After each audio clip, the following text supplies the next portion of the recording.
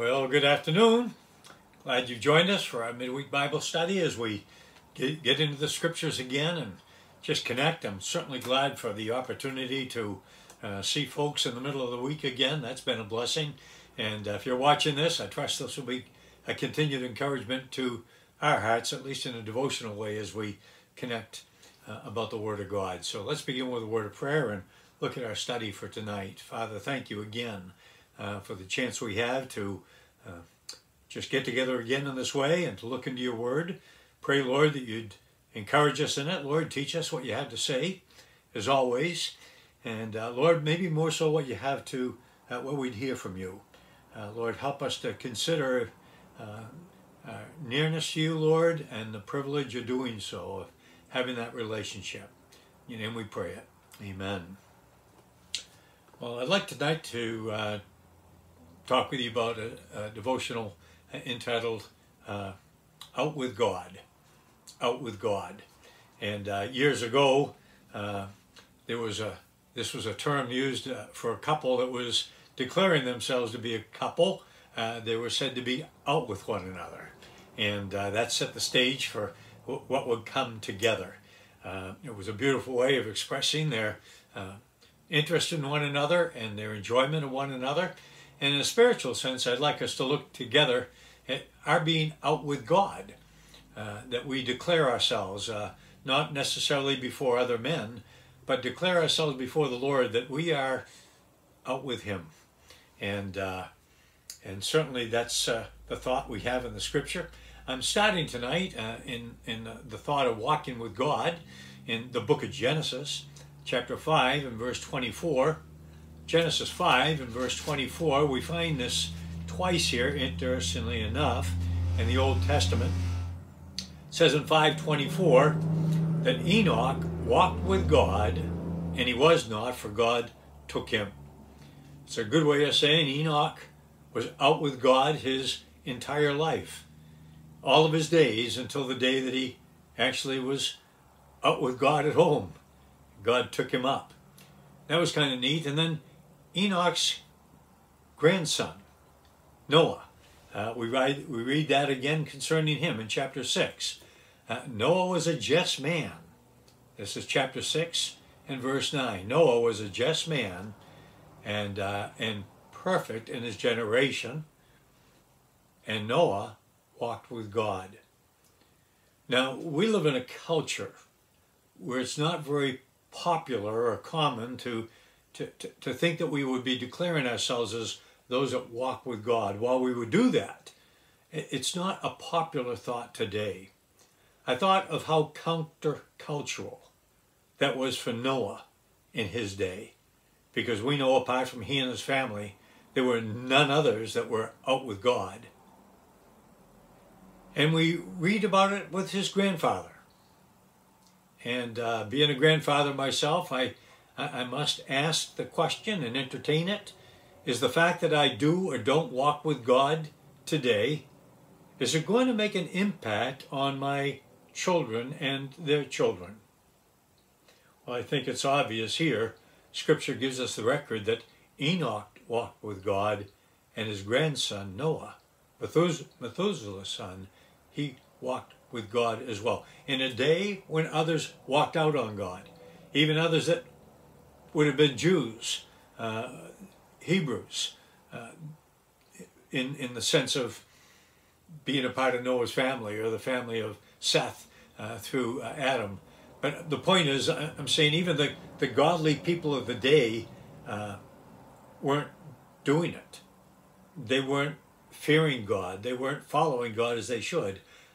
But Noah did. And the encouragement to my heart, and I trust ours tonight, is that although others may not walk with God, other Christians we know may not walk with God, the question is really, am I walking with God? Does God see me as one who walks with him? It wasn't Noah who declared this about himself. It was God who declared of Noah. He was a just man and perfect or righteous, and he walked with God. And I trust that's an encouragement to our hearts as we look at this. because we may live in a, a place where there's not a lot of people around us that would say, hey, we walk with God. Matter of fact, maybe the whole world seems to be going the other way, and we're, again, countercultural. We're, we're walking against the tide. We're not going with the flow today because we also want to be counted as men and women who walk with God. Walk with God. Well, there's certainly many ways we could go in this study, but I, I thought of some things that we should uh, look at and, and uh, as we, we look at it here, uh, what, what does it mean to be involved in a, a life where we're walking with God, to be, to be telling God or telling ourselves, no, I'm a, a man, or maybe you're a woman who, who is walking with God. Uh, and, and, so let's explore that a little bit as we talk about it. Uh, the first thing I, I have to look at here with you is that it's an agreement between two parties. It's an agreement between two parties, and my mind's going up on the same thing that we began with, this matter of courtship, where a couple is out with one another, where they're declaring themselves a couple. Uh, in what ways am I declaring myself to be out with God, to be a God lover, a God follower, to be out with God? How am I doing that? How are you doing that? The first thing is this I think it involves an agreement between two parties. An agreement between two parties. Here, it was Enoch and God, and it was Noah and God. And for you and I, it would be us and the Lord as well.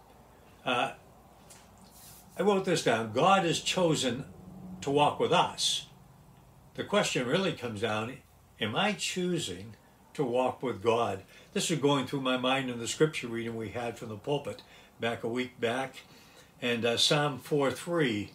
But know, the, know this know that the Lord has set apart for himself him who is godly.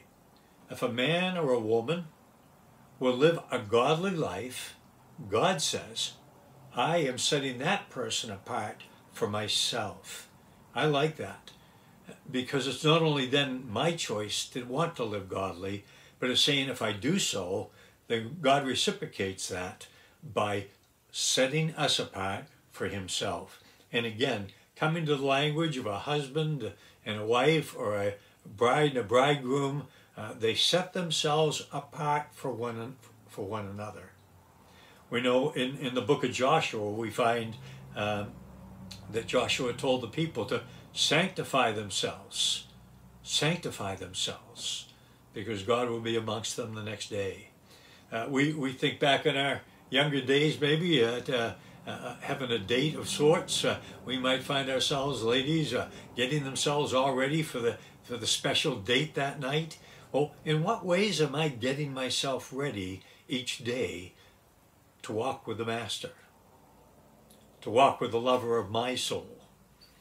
How am I beautifying myself? How am I preparing myself spiritually for that person? I think we can agree that uh, this involves, uh, this matter of walking with God, it involves agreement between two parties. While God is always ready and willing to walk with us, really it comes down to the question, are we willing to reciprocate that? Uh, we just came through Valentine's season, and, and we think of that verse. We talked about it on Sunday. We love God because He first loved us. It isn't a question of whether or not God's willing to walk with us. The question really comes down to the fact that, am I willing to be a man, or you willing to be a woman who will choose to walk with God? Out with God. Am I willing to do that? I think that's an important thing for us. the end of Joshua's life in chapter 24, 15, he said this Choose for yourselves this day whom you will serve. He's talking about the other gods, or will you choose the one and only God? And he says at the end of that verse, But as for me and my wife, my kids, my house, we will serve the Lord. So I think as we look at this, it involves a choice on our part. Are we, are we willing to choose to be out with God? To be in step with God, not out of step with God, but maybe out of step with the world, but in step with God. It's an agreement between two parties. here's another thought it's an agreement with, with a purpose, it's an agreement as to its purpose. And the purpose in this agreement of walking with God is unity or oneness. That's so true in marriage. Uh, marriage is only as strong as the couple are, are single in their mindset or their purpose. If he wants to go one way and she plans to go another, then indeed uh, we know that this is not what God would have us to do. And uh, we, we, we come here and find this oneness of purpose is really that which characterizes the people of God. It characterizes the people of God. And we find ourselves, as we look at this, uh, asking, Am I of one mind with God? Am I looking to uh, follow God in, in His ways? And that's how the Old Testament scriptures often put it. What does it look like to be in step with God, in, in the same mind with God, or to walk in the same direction? And here we find it very clearly here shown to us uh, in, in uh, Psalm 86 11. Uh, Teach me a way, O Lord, and I will walk in your truth. To walk with God isn't necessarily holding his hand and walking in step with him, although that's coming up next in our study. But it really has the idea of being of the same purpose. We're going in the same direction. We have the same mindset. It said in Amos chapter 3, verse 3, Amos asked the question, Can two walk together unless they are agreed? And I suggest to our hearts here today that when you and I, or when I agree with God, when you agree with God, then it is that we can walk with Him. I can't walk with God any more than praying in the will of God while I'm insisting on my own will. When I walk with God, I leave my own will aside and I walk in His way. I walk in His steps. I walk according to His commandments. Psalm 86:11. Unite my heart to fear your name. I like that. Unite my heart. Lord, may my desires be your desires. May your direction be my direction. May your will for my life be my will for my life. In other words, it's an attitude of submission to the Lord. Sometimes my wife, my wife and I will walk, and if you're taking hands and you're not keeping in step, that can get troublesome. Spiritually speaking, we want to keep in step with God. I'm getting ahead of myself, but uh, we, we want to have a oneness and purpose. I say that because I'm, I'm leading into the next uh, thought, and that's this. If we're going to walk with God, it indicates an agreement in our pace. In our pace. And I think we struggle with that as God's people especially when we have things in life that we're praying about. Maybe it's health, maybe it's relationships, maybe it's resolving a situation or just asking God to, to get involved or save, to, save a friend or even to come again, Lord Jesus. It's walking at the same pace God is going on. Jesus said it this way, didn't he, Matthew? Take my yoke upon you. It's easy. We're not like a puppy straining on the chain. When we put that yoke on, it indicates that we're walking in unity with the Lord. We're walking in harmony with Him. When He steps, we step. When He says go, we go, just like the Old Testament with the Israelites following the cloud of God's glory. When it moved, they moved. When it stood still, they stood still. And don't we have trouble with that? I think in the picture of walking a dog, we would, meaning no disregard in it, but we would find ourselves often pulling at God to make him come in our direction. And he's not going to do that. He's not going to do that. Um, I, I, love Isaiah uh, chapter 40, verse 31.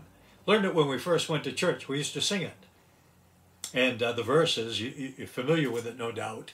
Uh, Those that wait on the Lord shall renew their strength, shall mount up with wings like eagles. They shall run with God and not grow weary, and they shall walk and not faint. Friend, when we walk in step, in pace with God, an agreement in our pace, we resolve to walk as He walks. When He says go, we go. When He says no, we stay. When He says walk, we walk. If he says run, we can run. We don't want to get ahead of God. We don't want to lag behind and fall out of step or fall out of the way. If we as men and women of God are going to walk with God, it means we'll walk in harmony in that way. We'll take his yoke upon us. As even the Son said to the Father, not my will, but thy will be done. And Christian, that, that's what we need to be committed to.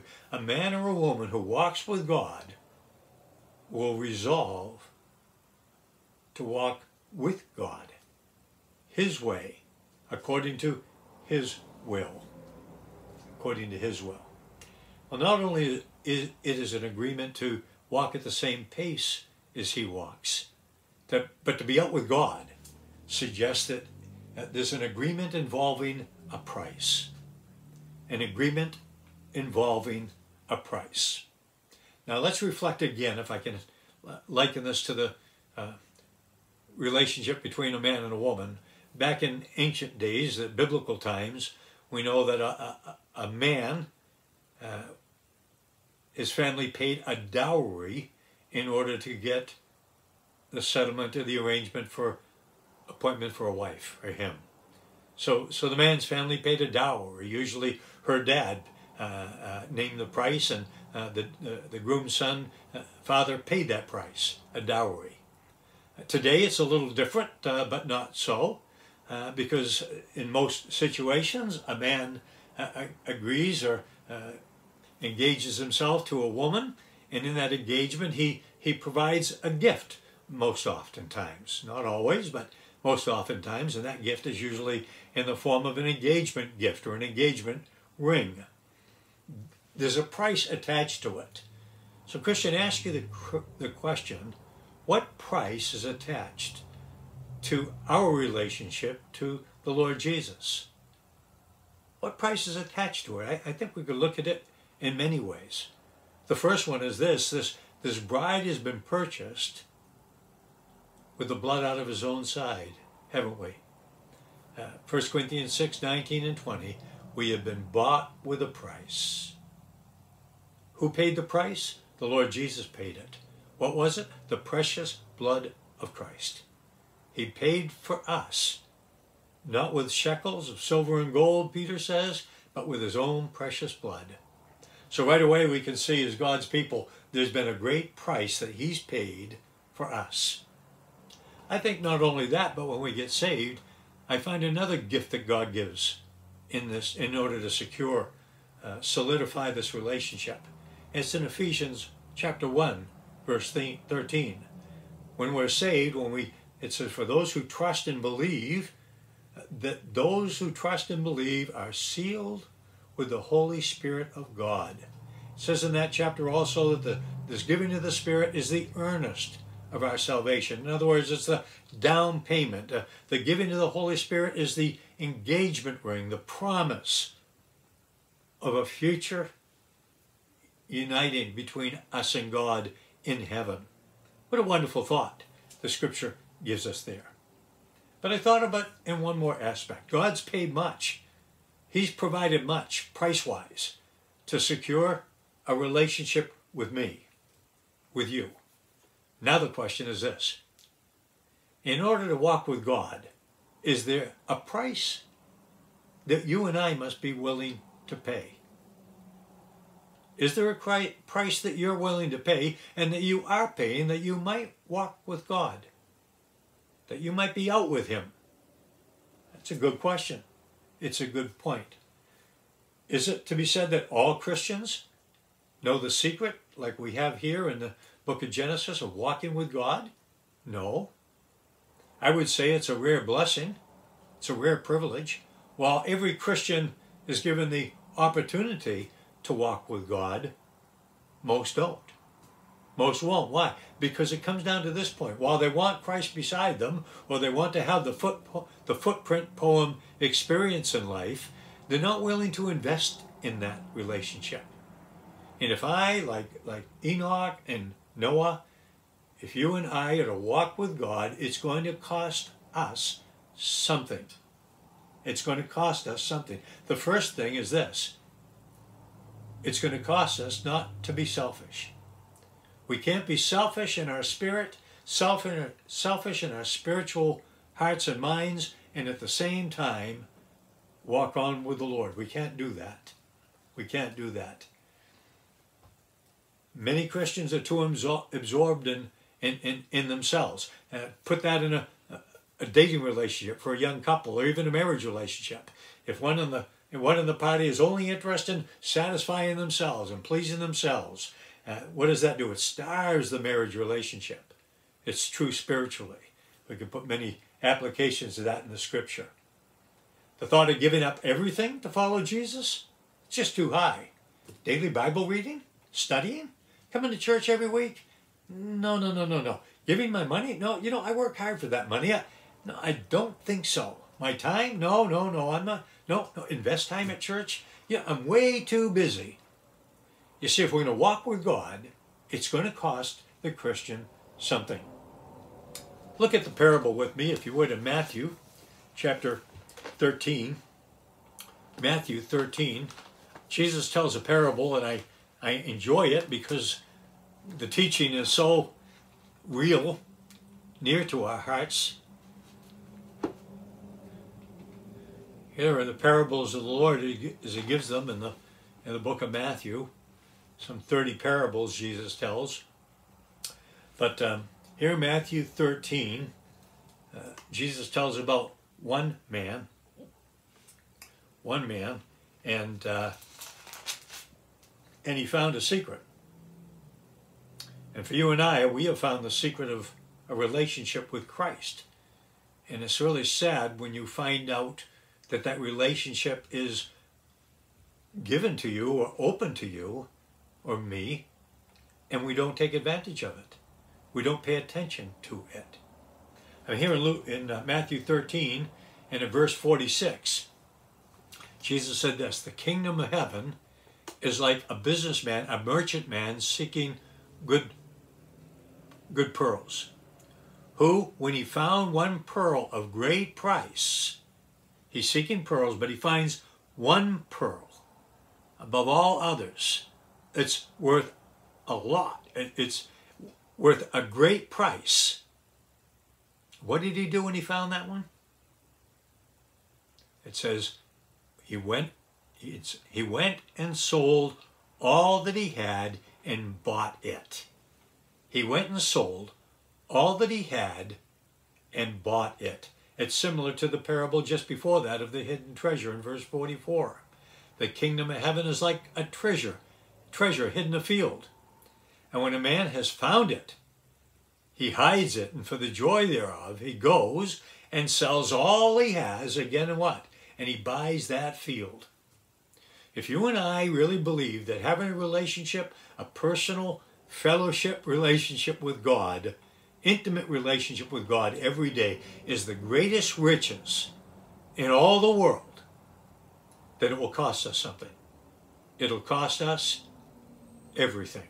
We find that so many times in Jesus' teaching. It's going to cost us everything. The man sold all that he had to buy it. Now, applying that to our study, what does that look like? It means we sell everything. Paul said it this way to Philippians. He said, whether it's fame or fortune, reputation, he says, I count that all but dung that I might walk with Christ that I might win Christ. I want his approval. I want his nearness. And folks, that's what we get to understand. That's sacrifice. We don't get into that too much today.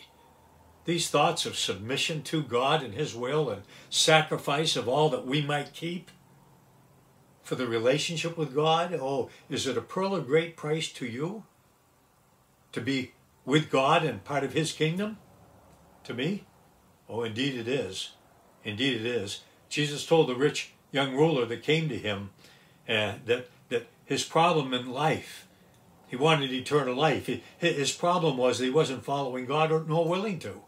And he, the Lord Jesus spoke these words to him in Luke 18, 22. Sell all that you have, give it to the poor, and then you'll have treasure in heaven, and come and follow me. I can fake following Jesus on the outside. But if I'm going to be out with Christ alone, if I'm going to walk with Him day and night through the bright days and the dark days, it's going to require a, willingness to pay the price. I thought of the Beatitudes Jesus teaches. And, and in the Beatitudes, we know as we look at them in the scripture, Jesus spoke about it. Those who are going to walk with Him, those who are going to be claimed to be Christians, they're, they're going to they're going to have to be willing to pay a price, to be poor in spirit, to be meek, lowly, uh, to be to sorrow, mourn, to be hunger, willing to hunger, willing to be uh, persecuted for the sake of the gospel. Are we willing to pay that kind of price in the world we're living with in order to be the men and women that God sets apart for Himself? Well, I must add one more to it after our study, and we're not finished with it yet this week in our dwell reading. Uh, and I've really enjoyed that. This business of walking with God must mean there's an agreement as to a place, or maybe places. We've been reading on the fact of God's meeting with us every day. That's like walking with God. Same thought, isn't it? And it's talked about having a meeting place. A place where we get along with God. A place where we talk with Him a place where we enjoy Him, a place where we can be alone. Maybe it's a special place in your home. Maybe it's in your car. Maybe it's a place you like to walk. Maybe it's while you're doing exercise. It's a, it's a place where you feel you're getting away from it all. I called it in my notes here, it's that secret place. It doesn't mean it's not on Main Street. It just means it's a, a special place a secret place. Uh, it's really sacred because you meet God there. It's how you walk with Him. It's where you enjoy your time with Him. Hard for a mother with the kids around the ankle to get that kind of time. Maybe it's when the kids have gone all to bed. Maybe it's after you've gone all to pieces for the day. Mom, well, wherever it is, it's that place that we maintain in our busy lives as being that special place that special time where you enjoy being in God's fellowship. We get busy, we lose that. Took last week off. Teresa and I had the day away just to, to be together. And uh, I get busy and I neglect that sometimes. And she's good at telling me we need to take a day and take some time. And it's always good to do that. It, it's taking that time to cultivate the relationship we already have. And that's what God wants us to do. It involves a lot of different things. But one thing for sure, God desires that we would have a special place with Him in our lives, each and every day. Micah 6 8 asks this question What does the Lord require of you, Israel? But to do justly, to love mercy, and to walk humbly with your God. Might we walk humbly with God this week? Might you walk close with Him? Take time to talk to Him, think about Him, pray, maybe put on some nice music to direct your heart mind that way. But consider it a mini vacation and you're getting away with Him. What a great, great time we could have each day if we avail ourselves to the sanctuary where we meet with God. Trust you will and trust that's an encouragement to your faith as it really has been to mine. God bless you. We'll see you next time. Father, thank you again for meeting with us today. Lord, we take time for things like this. Lord, it just it just draws us near to you. Lord, pray that we might walk in your ways according to your commands, that we might walk with you more closely. In name we pray it. Amen. God bless.